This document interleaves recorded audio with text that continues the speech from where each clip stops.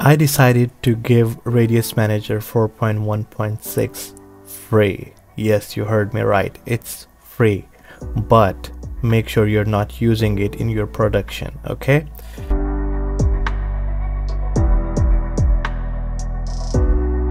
I have seen like there are so many people who wants to learn that software who want to learn more how to use the software and if they are working currently for a company they're using DMA Soft Lab or they wanna work as a network administrator in a company where they're gonna have DMA Soft Lab so you guys can use the software install it and use it for free just for the learning purposes. Or if you are a teacher you want to teach that software to other students you can use that. So it's going to be just one click download. You will download a zip file and extract that. Just install. It's going to be that simple. And let me show you how you are gonna install that okay so here I have VMware workstation. I would uh, put the download link in the description for VMware workstation and that's also free.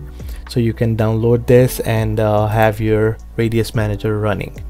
Alright so once you have downloaded your file uh, it's it's gonna be in the zip file and you, you just need to unextract.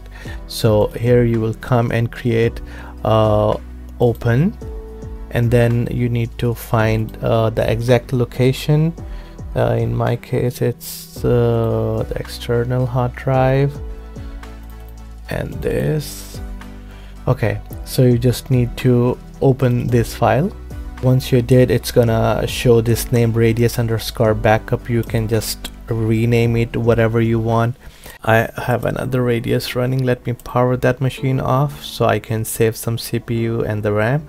So this one power off and this one what I uh, just recently uh, installed on this machine. I'm gonna just power this machine up and uh, I will give you all the credentials and everything and you just need to click on I copied it okay. Okay so things uh, need to be verified before starting. I just uh, simply clicked on start.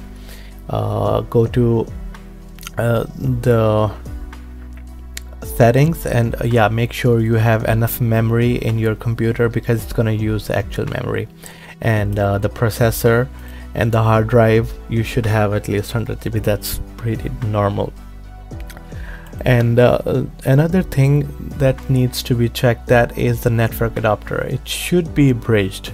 So that way you can access this uh, DMA Soft Lab on your computer. Okay so the username is root and the password is TALHA1234 I'm not gonna write it in my description because you guys gonna ignore my video then.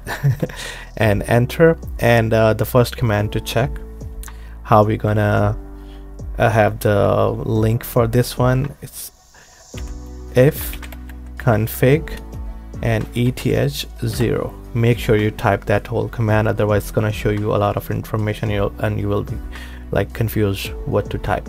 So it will give you exactly what the IP address is and yeah so it's 192.168.12.10 all right so it says it works right?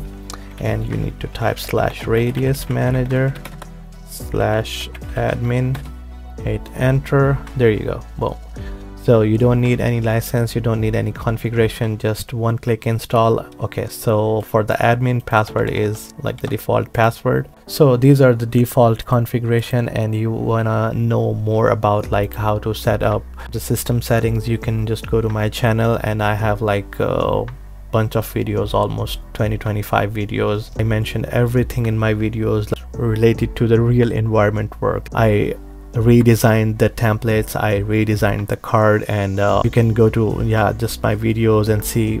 I meant I, I tried to explain that in in simple simple method like how you can create uh, your own design card using canva or if you are good in graphic designing you can use any other software like photoshop or anyone and uh, if you if you know a little bit of HTML then it would be easy to like recreate your uh, invoices. Like uh, let me go to uh, find invoices and I'm gonna just say uh, if you have any no. So there is no invoice. Let me go and uh, let's say create create one for this one. Like add credits.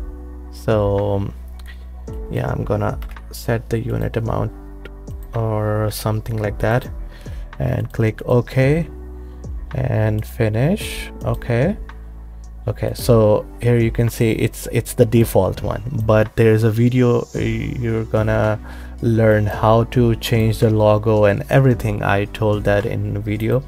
And thank you so much for watching the video and I'll see you in the next video. Bye